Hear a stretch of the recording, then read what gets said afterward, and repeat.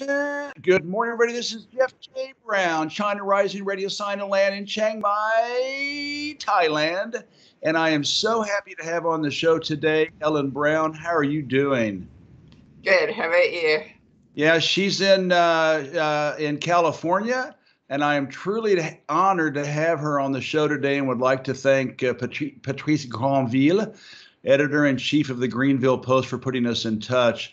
Let me tell you a little bit about Ellen, um, uh, a, a, very amazing uh, woman. Uh, she is an attorney, chair of the Public Banking Institute, which will be the focus of our uh, uh, interview today, and I hope you know we'll get entice you all to to get involved. And author of 13 books, including Web of Debt, The Public Bank Solution, Banking on the People, Democratizing Money in the Digital Age.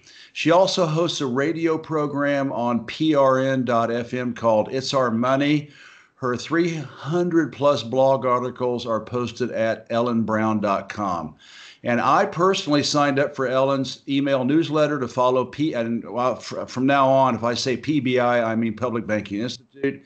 To follow PBI's work, you should to buy and share her books or ask your local library, school, university, place of worship, or book club to buy them for everybody's benefit. And I tell you what, the reason I wanted to ask Ellen on the show is living and working in China for 16 years. I have seen the success of a country where there are no private banks. And, and, and I, I feel it's this important to save humanity. The West needs to develop public banking for the benefit of the 99%.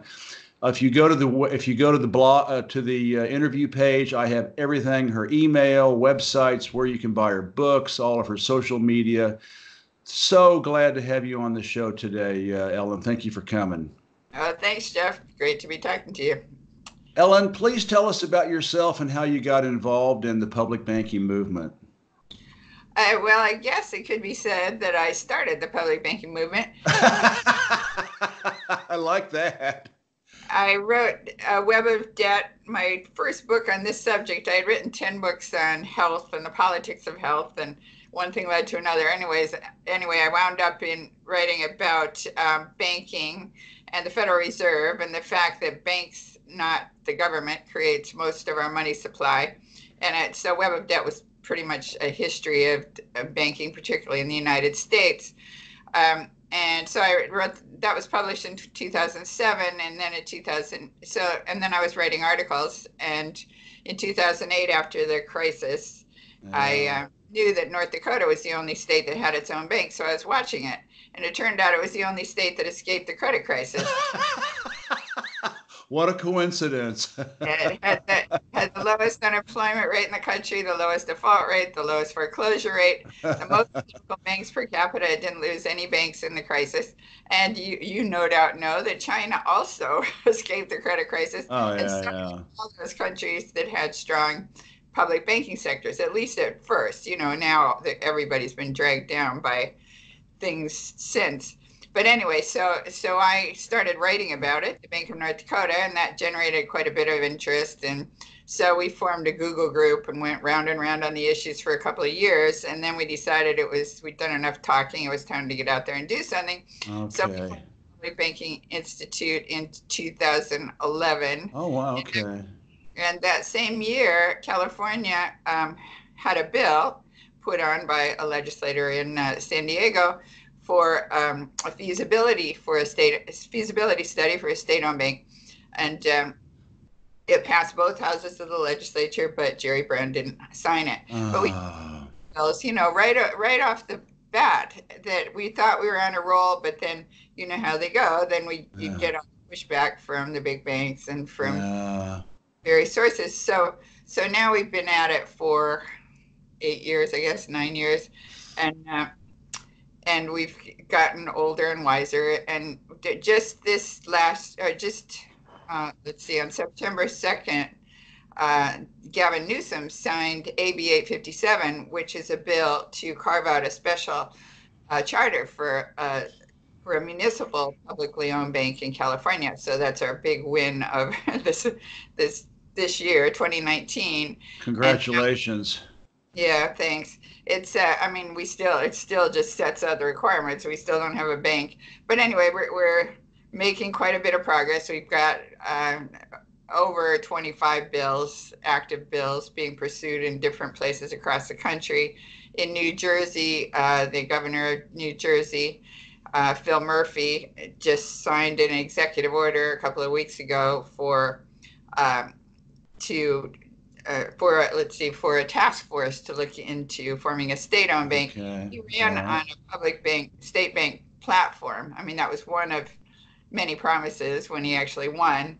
And uh, I saw somewhere in an article it said he he'd done all of them except the state bank. So I think I legislative or this executive order to get moving on it. So anyway, we have lots of activities. We, but um, and to me, the most most uh, gratifying thing is that millennials have gotten behind it. So now we have this this grassroots support, which is great because we're getting old.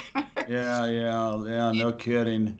Well, you know, when I grew up in Oklahoma, we always used to say, How do you eat an elephant? And the answer is one bite at a time. So uh, I know that's what you're, you're eating a very, very big ele- elephant. Well, listen, private banks have been around for a long time. You know, Jesus Christ was killed at the request of temple bankers for threatening their business. Private bankers have a millennial history of fomenting wars to loan to, bankrupting countries, and destroying entire peoples. That's the bad news. But going back in history, have there ever been examples of people owned public banks?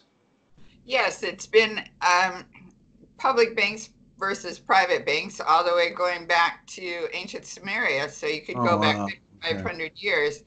Um, um, contrary to popular belief, banking did not evolve like in classical times from barter and then, you know, it became more sophisticated with gold, etc.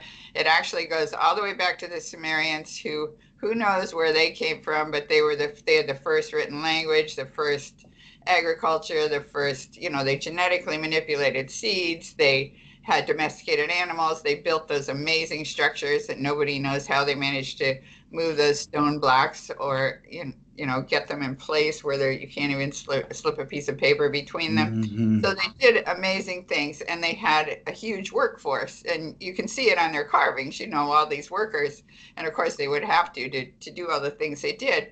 So to organize them they had this system that was there was no money in the sense of you know round gold coins. It was all um, it was all written. So it was all mm-hmm. basically receipts or contracts. Mm-hmm. And uh, there are thousands of these um, cuneiform writings, tablets with cuneiform writings on them. And most of them are not what you would expect. They're not like letters or histories or something like that. They're mostly contracts or mm. economic, you know, just keeping records of who owes what to whom and it, it started out with the little figures. At first, they did these cylinders where they actually put little sort of toys in it, you know, little tokens that represented different things like cows and corn or whatever. And then they, on the outside, to show what was in the in the tube, they made these little symbols, and then the symbols became, you know, st- standalone things where they didn't use the tubes anymore. They just used the symbols for corn and wheat or whatever. Um, so the uh, Michael Hudson has written extensively about this. He's an economist who's, uh, you know, also. Yeah, he's he's wonderful. Yeah. Yeah, and, he's really wonderful. Uh, David Graeber, uh, his book uh, "Debt: uh, The First Five Thousand Years" is also really good, and he talked a lot about how most debt throughout history has been social. You know, it's just been social and and and and and as you said, reciprocal uh, and, and not based on interest, et cetera. So uh, so we do have so we do have a track record of of, of public uh, people-owned banking uh, going back five thousand years. And in the U.S., or what was the before we were the U.S., our first banking, our first banks were public banks. We didn't have you didn't have private banks on every corner. The Bank of England wasn't really here; they were in competition. But, but you know, it's not like you had you could go to your Bank of England and make a deposit. So in Pennsylvania, Benjamin Franklin's colony, not much was happening. There wasn't because there was no money to trade with. They didn't have silver and gold to speak of. I mean, they had more silver than gold, but they didn't have much. Uh, and so, um, they could, first the colonists got the idea of issuing little paper receipts that were that was first the governor of um, Massachusetts had to fight a little war, a border war, and he didn't have money to pay for it. So he got the idea of he would just issue these little receipts to the soldiers that would be like advances against future taxes. But the problem was that it was a lot easier to issue the receipts than to I mean, than to pay a so there you go. you're dealing with like frontiersmen or you know people you can't nail down real well, and uh, and they they were kind of opposed to the whole idea of government, of course. So, um, so it did tend to inflate the system. There tended to be too many notes out there. But in Pennsylvania, they got the idea of um, having a bank. It was called a land bank. So that the colony printed the money, the local, the provincial government printed the money, and then they would lend it to the farmers at five percent interest, and and they could print a little extra, you know, to make sure you had enough to cover principal and interest. So you didn't have this continual debt pyramid like we have uh-huh, now. Yeah. Eventually, the whole thing tips over, and then you got to start again. So there was enough money out there to pay principal and interest. So it was a very sustainable system. Uh, and that worked up until King George decided to to forbid, forbid the colonies to issue their own money. I mean, ah, okay. Yeah, and Benjamin. There you go. Benjamin, go ahead. Benjamin Franklin made the mistake of going to England and uh, talking to, uh, I guess he's talking to the king, but uh, with the Bank of England in the king's ear and uh, saying, "Oh, this, you know, we really need to be able to issue our own money. This is how why we're flourishing. We don't need to borrow, et cetera, et cetera." Well, that did not go over real well with the Bank of England because the goal of having colonies was not for them to be self-sufficient. The goal was to have uh, to be able to mm-hmm. colonize them, to be able to exploit their commodities, get commodities cheaply, and so forth. So, so the king cut off uh, all the colonies from issuing their own money, and then that caused a big depression, and then that got the farmers up in arms, and so um, that was supposedly a major trigger of the American Revolution. Wow. So then, I mean, there's a long history, and I wrote all that up, of course, in my numerous books, but all right, cool. Well, listen, you brought up a very good point. The Central Bank of England was created in 1694 to print money to lend to the king, who needed to fight French King Louis XIV. Privately owned central banks have been creating money and lending it to governments ever since. And Baron Nathan Mayer Rothschild famously said, I care not what puppet is placed on the throne of England to rule the empire. The man who controls Britain's money supply controls the British Empire, and I control the money supply. All of this is nuts. Please tell us about how private banks insinuate themselves into the economic and governmental system and take it over.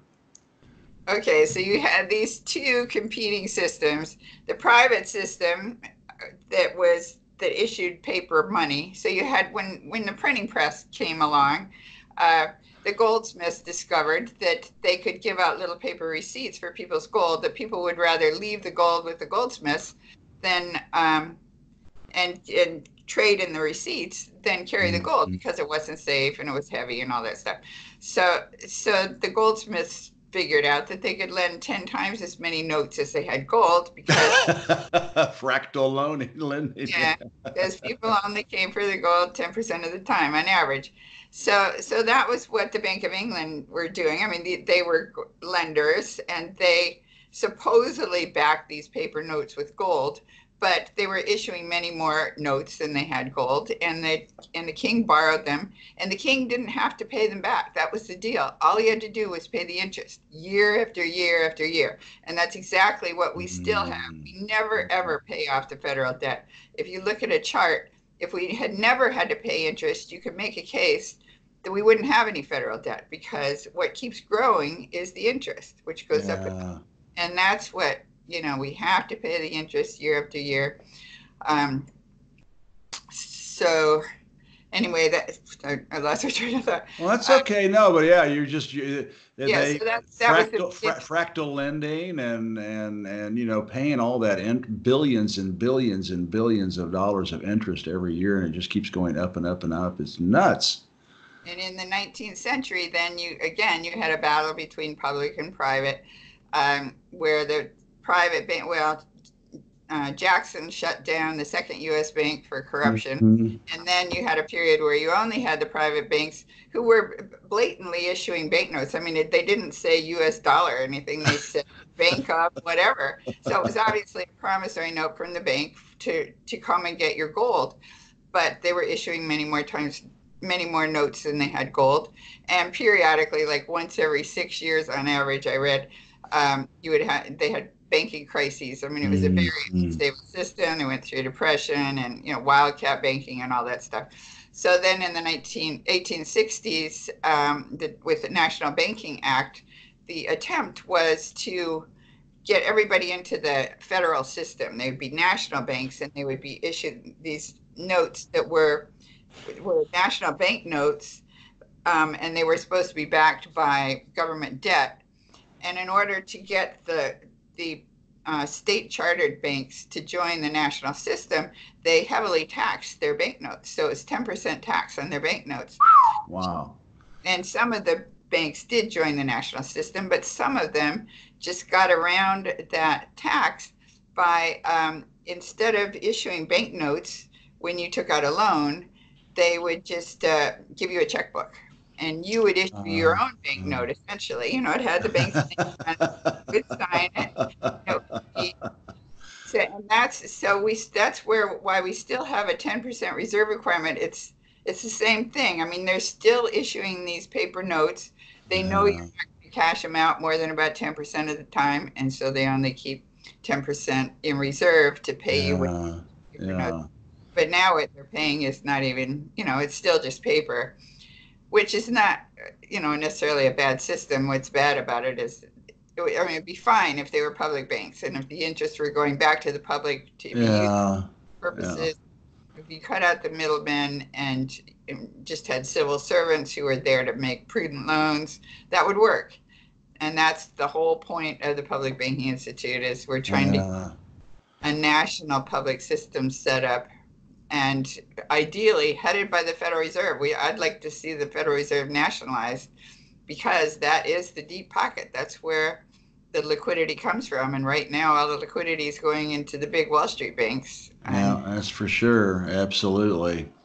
We could be using it to back public it, the public interest and and and building infrastructure. I understand Canada abandoned printing its own money in 1976 to adopt a privatized uh, Federal Reserve System. Why did they do such a stupid thing as that? You know, borrowing money at prints and and uh, you know uh, uh and gives to the private bankers. I know they don't give it, but they you know. But but why did Canada abandon their system so late in their in their? Well, they actually from 1939 to uh, the mid um, 1970s. Yeah, um, they they actually I think it was for 35 years they were um, borrowing from their own central bank, which would create the money, and this worked very well. They they did all sorts of infrastructure. They that's when they started their national public health system. Yeah and you know funded it very well then. I mean it's got problems now because they have a heavy heavy government debt because they quit doing that system. So in the 1970s they joined the um, the basel committee which is part of the bank for international settlements. Mm-hmm. and, and, switzerland. Basel committee was supposedly that at that time there was stagflation and they blamed it on governments printing their own money. But that wasn't it. Canada had been doing this for 35 years. They did not have inflation, and it worked out very well. The reason we had stagflation, the number one reason was that we had taken, or Nixon had taken the dollar off the gold standard. The dollar had plummeted, and then to save the dollar, this is according to Bill William Engdahl in one of his books. Yeah. Um, that uh, that Nixon and uh, Henry Kissinger had gone had made a deal with the OPEC countries that um, we will quadruple the price of oil, and uh, in return, so you will become very rich. But in return, you will put your oil dollars only in U.S. or London banks. You know, only in Wall mm-hmm. Street or the City of London, and uh, and then we will protect you militarily. That was the deal. So all of a sudden, and then we had this little war, the Nine Days War, whatever it was, and sure enough, the price of oil was quadrupled, and all these countries that thought they had enough dollar reserves but didn't have their own sources of oil, they had to borrow. So they borrowed from the Wall Street and London banks, et cetera, went into debt to the Wall Street and London banks.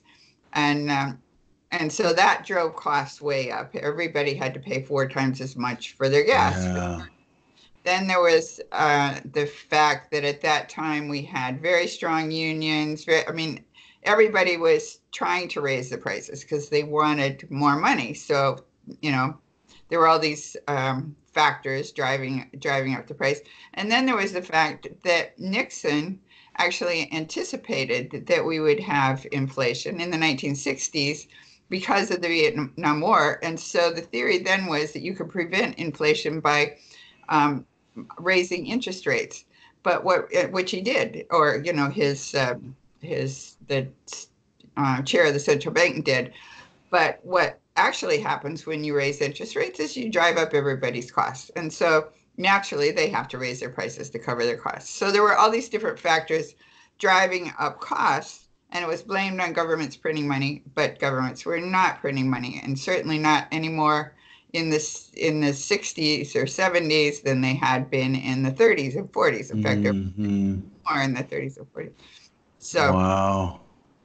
But ever okay. since go ahead ever since there's this thing that banks are supposed to be, or the central banks are supposed to be independent from their governments. Uh, I mean, that was the whole Basel Committee thing that the goal, the role of the central bank is to maintain the stability of the currency at all costs, basically. So now our Fed is always aiming at their target interest rate of 2% for the Fed funds rate or whatever they're aiming at which is why they've gotten it. Well, I won't go into it, but anyway, it's just this. It's not we, viable. We need we, we need to buy your books. That's why I keep writing. There's so much more to be said. You know, it's just so. My first book is called Web of Debt, but it is a web. You know, you just get in there. Yeah, absolutely. More. Yeah, it is. Yeah, and spider webs are sticky. Hey, listen, socialist countries like China, Cuba, and North Korea have nationalized banking systems. They mint their own money and it is used by people owned banks. Are there other countries that have nationalized banking systems, or are all others beholden to private bankers? Well, um, I think quite. I mean, China does have private banks now. I know that in the in uh, 2010, when they basically saved the global economy, 80% of their banks were government owned. And I, I saw somewhere now it's down to about 50%. But even so, they're owning the 50%, you know, the important 50%. They own the big development banks. And so when they want to build a high speed rail, they just issue the money. You know, like any bank does, they issue it as credit. Mm-hmm. And then the proceeds from whatever they built, like fees for a railroad, pay back the loan. And that's the way it should work. And that's what happened during um, the Great, Great Depression, for example, with the Reconstruction Finance Corporation, where um, it was a Roosevelt entity. I mean, it had been started by Hoover before him, but he Roosevelt vastly expanded it because he couldn't get the Federal Reserve to go along with his plan to have 12 industrial banks that would actually lend to industry. So the Reconstruction Finance Corporation lent to any sort of what were called uh, self-funding loans, you know, any kind of loan that would pay back, like farms or anything productive that where the proceeds of the thing you built could pay back the loan. So it's just a sort of a not risky loan.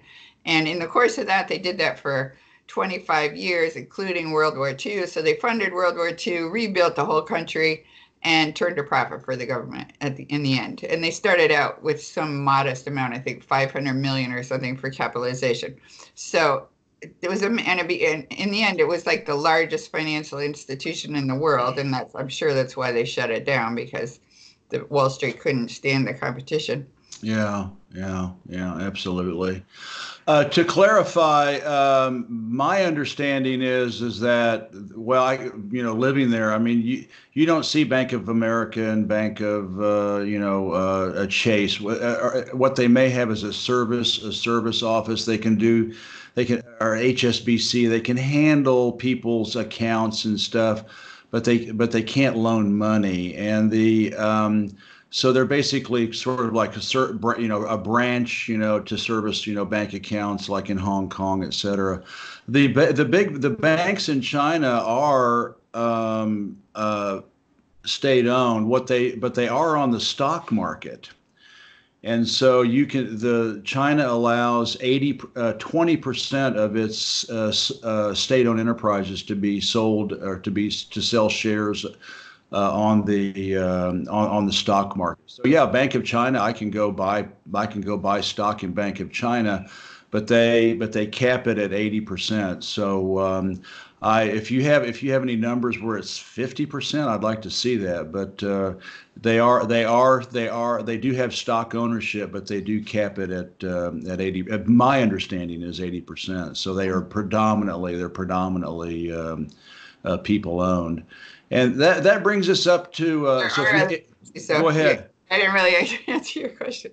So, um, there were many countries that were that oh. were not part of the Bank for International Settlements, and they're pretty much the ones we've gone after, like Venezuela, Iraq, uh, Iran, Syria. Uh, well, there are others. They're, they're not popping into my head, but well, but China, they're going after they're oh, attacking China. Yeah. Yeah. Well, and China is a member of the Bank for International Settlements, but their banking laws, China's banking laws, say that that the central bank works for the government, basically, uh, whereas yeah. ours say say that they're independent. Japan's banking law says that the Bank of Japan will work with the Ministry of Finance, which I think is what we should do.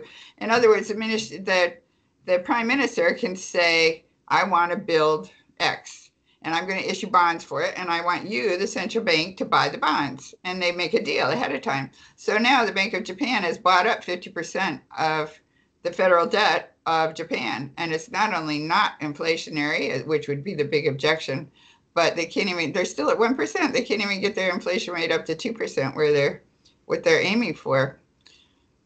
And Libya, of course, is a great example, and that was when we had to take out. Libya was issuing money directly through their central bank, and they had a ton of gold, which yeah, two hundred tons that disappeared. Yeah, unbelievable. And uh, go ahead. And what? They were trying to uh, mobilize the whole continent yeah. into you know a different currency to get out of being subject to dominance by the dollar, and so. Yeah, they wanted to create a gold-backed uh, African dinar. That's what yeah. I read. Yeah, yeah. So, you do that kind of stuff, and you get your head cut off. Um, tell us about the United States' only public bank in North Dakota. How does it work? Who are its customers, and how does it relate to private banks in the state? Um, it was founded in 1919 by a populist movement when the farmers were losing their farms to out of state bankers. Of course, North, Dakota is a very conservative state, so they were. These were. There's a movie about it, uh, documentary, but there's a documentary and there's a, a Hollywood movie. So these were Swedish and uh, Norwegian farmers that weren't going to have, that barely spoke English, weren't going to have anything to do with the socialist movement. But then the name was changed to the Nonpartisan League, and they realized that they were losing their farms unfairly. It was a it was a Rockefeller cartel. So the railroad and the bank and the um, the granary were all one cartel, and the granary wasn't taking their grain inappropriately. It was good grain, and so they were losing their farms. So they banded together, formed this bank in 1919, and um, according to the charter, all of the state's revenues were to be deposited into the bank, and that's still the way it is. So they have a huge deposit base. They have there was an article in the Wall Street Journal in 2014 that said the Bank of North Dakota was more profitable than Goldman Sachs and JP Morgan Chase. So they had wow. like 8% return on equity, which is amazing. But the, their secret is they cut out all the middlemen. They've got a, a, a, a captive deposit base in the state itself.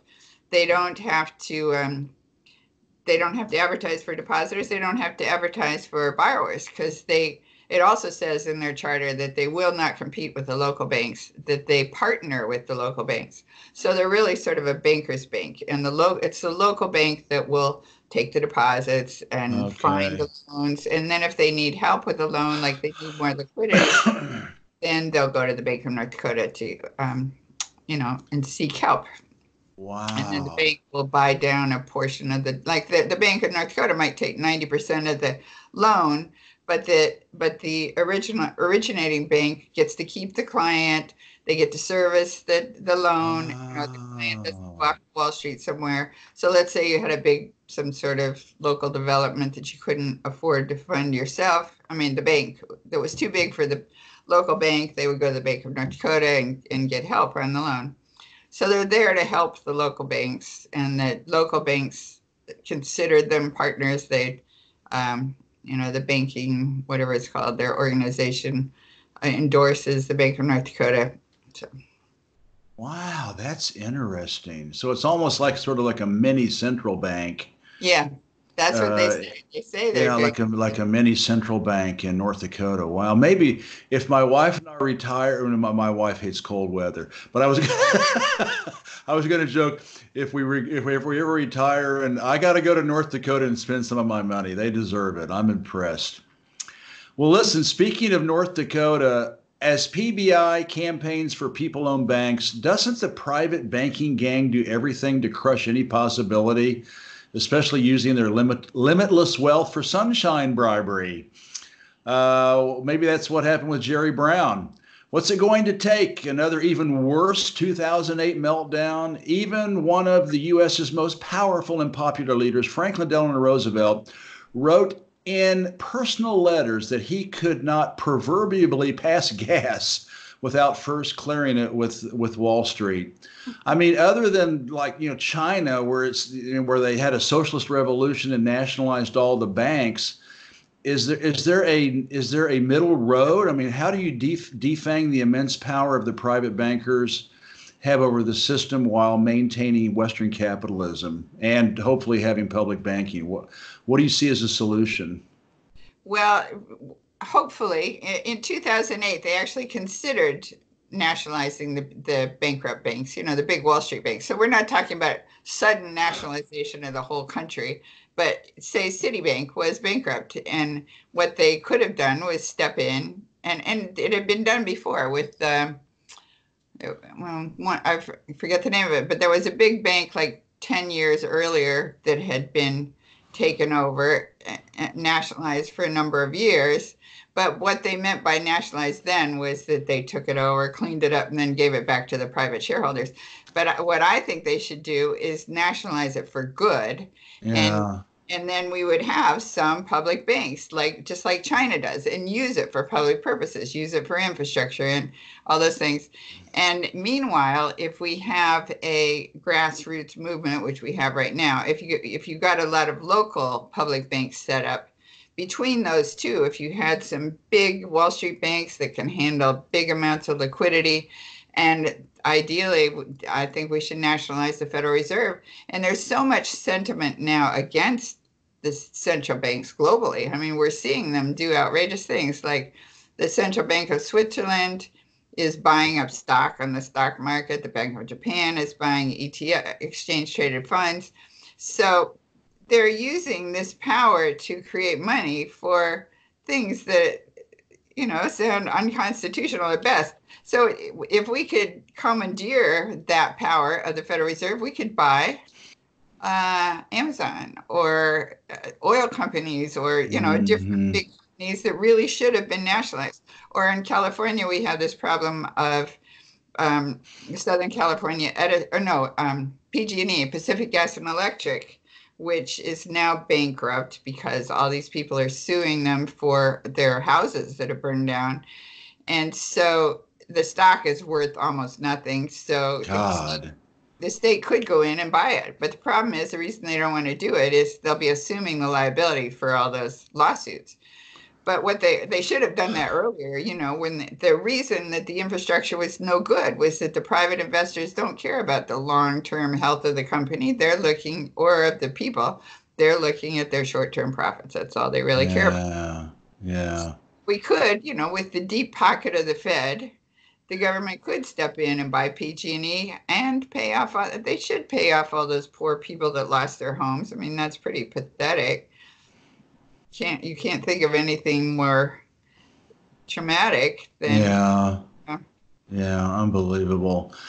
Well let's look at the future. There's a there's a lot of talk in the news about a global meltdown even worse than 2008 maybe more like 1929 uh, one sign is the Fed's recent repo behavior. I, you know, I know you wrote an article about it, and I don't really quite understand it stand it. Please, please tell us about uh, uh, this shenanigan that the feds are doing. Yeah, the repo market is really obscure. I wrote about it in my latest book, Banking on the People. It's uh, it used to be that the banks, well, you know, banks don't really have the money that they lend. You you never go to the bank. The Bank of England finally acknowledged that in 2014. They came out with an advisory or a part of their quarterly report that said, contrary to popular belief, banks don't lend their deposits. They actually create deposits when they make loans.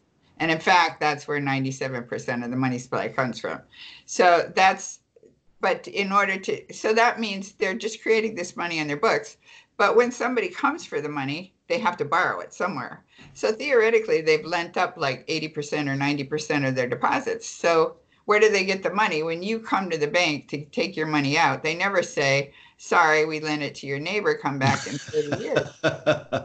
they always have it. So where do they get it? They borrow it. And that's the that's the magic of banking that you can always get cheap money. Yeah. So they money money for free. yeah. So Go ahead. Used, they used to borrow it for, on the Fed funds market from each other. But after 2008, they didn't trust each other and that that market froze up. And so the repo market is where it's called repossession or uh, repurchase. So repo Repur- is repossession, it's repurchase. repurchase. It's sale and repurchase. So technically, you have sold a security overnight, and then you take. And then, but the deal is you'll buy it back in the morning, and that's how it works. so there's this pawn. You know, it's a form of insurance. It's like the it's like deposit insurance for the big investors who have more than $250,000. So so they feel more secure with this repo market and so that's where the banks lend now and that's where they borrow and that's where they get their liquidity. But still the deal was supposed to be that the big banks would put their money into the repo market and you know so it would be there the liquidity be there but JP Morgan which is the biggest has the biggest uh, you know big chunk of deposits in the whole country, decided to pull out. Now I've forgotten the number, but it was 136 billion dollars or something, and to buy back their own stock because their their um, business model is profit at any any you know whatever is most profitable, and that was the most profitable for their shareholders. Absolutely, that's absolutely. But then Sound, that, go ahead that meant the liquidity was not there for uh, the other banks, and and so um, the so the Federal Reserve steps in and just creates the liquidity and lends it to, overnight instead of instead of J.P. Morgan. So these in, and that included like hedge funds and entities that really should not be able to borrow from the Fed's you know, they're not in the Federal Reserve Act, they're not allowed to go to the Fed's loan lending window and borrow. But these entities can go to the repo market, and the Federal mm. Reserve steps in as they always do because they're trying to present, preserve that 2% target interest rate, which is stupid. It's, um, I mean, I shouldn't be critical, but it seems to me that it's just not working. I mean, it's not the way to regulate a an economy and all these big investors know that the fed will step in and so they don't worry they don't have the money but yeah. they know they get it because the repo market will always be there because the fed will always you know, prop it up. Print, well, basically print money and pump it in. Yeah. Quantitative, what is that called? Quantitative, uh, what is that called? Quantitative easing. Yeah, Uh, They're yeah. not really quantitative easing. Okay, well, they're see they're lending it overnight and then they take it back the next day. So it's just a loan. But here's the thing: all these great big enti- these big hedge funds and of course the banks can borrow for almost nothing, whereas the rest of us have to borrow on our credit cards at 17 percent. yeah, yeah. Unbelievable. Well, uh, everybody duck, duck for cover. it's coming. Ellen, what are your current and future projects? You're quite a lady. I mean, we've been in contact with each other for the last couple of three months, trying to trying to set up this interview. And you're traveling, and you're you're giving presentations all over the place, and you're, you're you have a pretty amazing uh, mission and and and career, uh, trying trying to do well for the human race. So, what are your current and future projects?